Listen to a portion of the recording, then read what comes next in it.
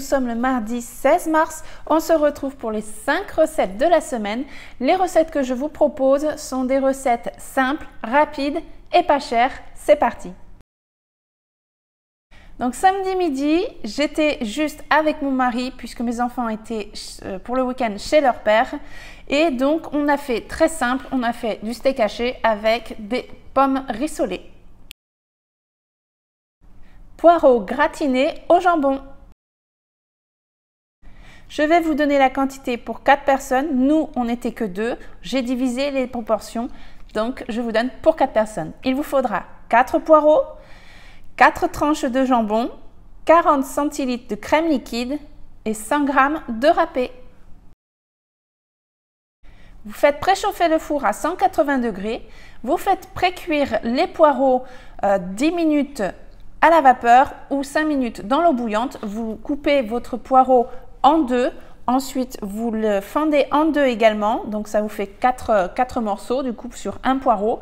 Vous allez les rincer, les rincer sous l'eau, les faire cuire soit à l'eau, soit à la vapeur, à votre convenance. Pour moi, c'est à la vapeur, puisque pour moi, je, je trouve que ça rend beaucoup moins d'eau et beaucoup plus facile. Ensuite, vous mettez dans votre plat du four, vous posez dessus les tranches de jambon, vous mettez la crème liquide à 30% de matière grasse et vous mettez du râpé 30 minutes à 180 degrés et c'est prêt.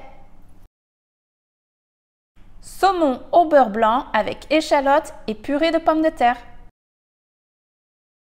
Nous étions toujours juste mon mari et moi puisque nous récupérons les enfants que le dimanche soir.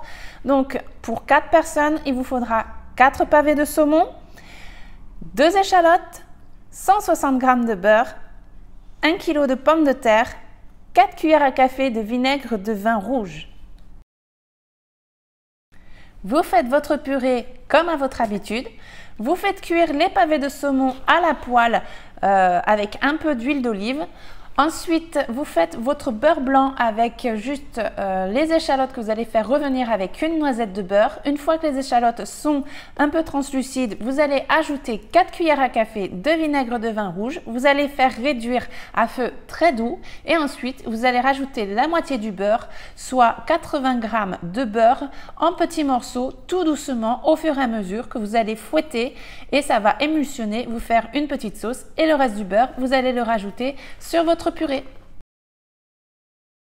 Tagliatelle fraîche avec de la crème, du jambon serrano et des œufs mollets. C'est très rapide. Vous avez juste à faire cuire les pâtes à l'eau. Les pâtes fraîches, ça cuit deux minutes. Ensuite, pour la crème fraîche, une fois que c'est cuit, vous mettez dedans. Donc là, c'est de la crème liquide à, 30% de matière grasse. Et vous rajoutez ensuite dans votre assiette le jambon serrano sur le dessus de vos pâtes. Et vous faites cuire vos œufs mollets. Si vous ne savez pas comment faire, euh, pour ma part, je fais chauffer de l'eau bouillante je mets les œufs entiers avec leur coquille dans l'eau bouillante pendant 6 minutes, pas plus. Ensuite, je les sors et je les plonge dans de l'eau froide, sans forcément mettre de glaçons, mais juste de l'eau froide. Et on sert aussitôt, on enlève la, euh, la coquille et on coupe l'œuf dans notre assiette. Et voici ce que ça donne. Pizza chèvre miel, serrano et salade. Il vous faudra deux pâtes à pizza, 150 g de chèvre, du miel, 8 tranches de serrano et la purée de tomates. Vous faites préchauffer votre four à 240 degrés. Vous étalez vos pâtes à pizza. Nous, on a des grilles pour, pour les pizzas.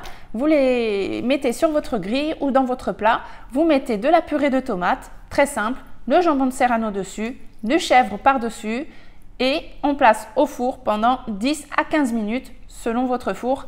Et à la sortie, vous mettez un filet de miel et nous, on a servi avec de la salade. Voilà, j'espère que ça vous a plu, que ça va vous donner quelques idées.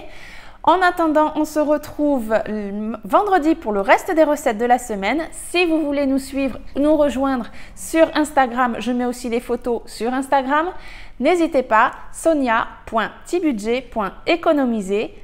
Merci à tous, à bientôt, Tchau!